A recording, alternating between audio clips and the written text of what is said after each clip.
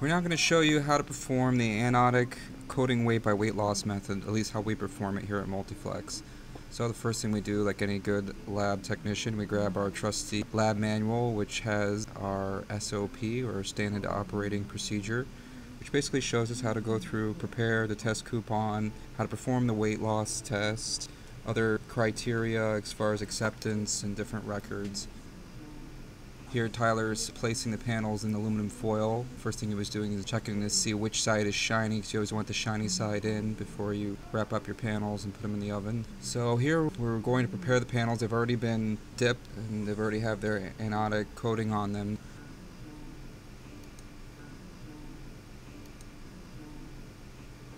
Here's our oven. First step of course is to turn the oven on as you wait for the dial here to go through its ramp up and now you can adjust your temperature. According to our spec we dry the coupon for a minimum of 30 minutes at 200 degrees and you want to check to make sure that the data is logging. This device actually controls two ovens. There's a little note on the door in case you uh, you don't know exactly what to look for. It shows you exactly what you need to do. And of course you have to uh, record all of your data so here we are in the lab. We're going to prepare our solution. The recipe is written on the bottle. It's also available in the standard operating procedure and on our wiki under the recipe section. So we need to find the temperature. It's, I believe it's 212 degrees Fahrenheit, which with our hot plate, it's in uh, degrees Celsius, so the conversion is about 100 degrees Celsius. Generally, you want to go a little bit hotter just to get this the entire solution up to temperature. And so now the next step, after we've gone and we've dried these coupons in the oven for the appropriate amount of time, we're going to measure the dimensions.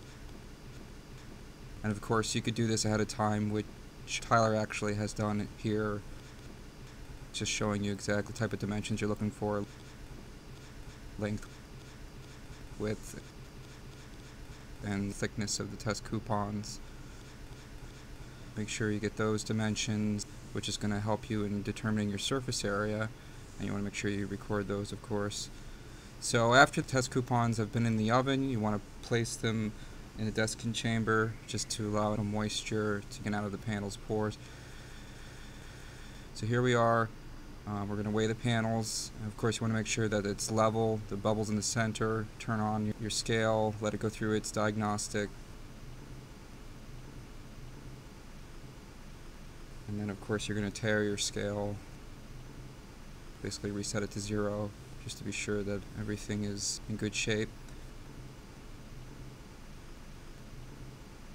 Next we're going to weigh each of the test coupons to get our initial starting weight before we actually perform the uh, weight loss portion of the test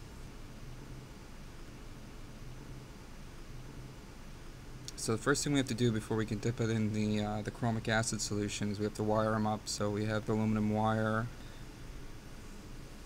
Now we're here, it's in the solution and uh, was in there for uh, between 5 and 6 minutes at 212 plus or minus 10 degrees Fahrenheit.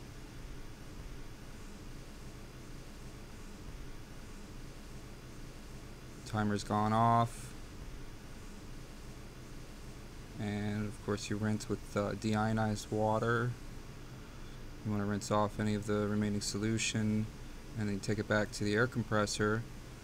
And here Tyler is going to blow off the uh, the panel just drive off the uh, remaining water with some compressed air. You want to make sure that the uh, compressed air is dry there's no moisture in the compressed air. And then just to um, be sure before we actually perform our next weighing we're going to use a heat gun and just thoroughly uh, go through and dry the panels additionally.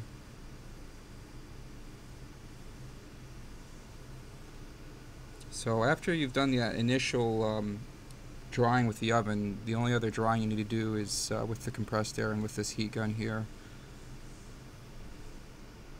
So you go through thoroughly dry the coupon. You dry them on both sides. Here is just showing as an example on one side. And again, we're going to weigh the, uh, the coupon.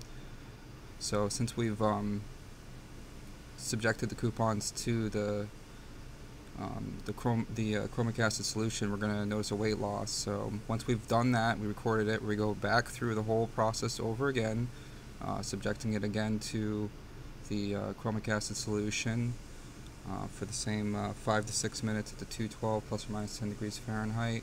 And again, basically the procedure just repeats itself. You're going to rinse, you're going to dry it off again with compressed air, you're going to heat it again with the, uh, dry it off again with the uh, heat gun, and of course you're going to weigh it again, and you're going to keep doing this cycle of uh, exposing to the chromic acid, uh, rinsing, drying, and weighing until eventually, um, at some point, your weight loss is, is not going to change from one um, cycle to the next.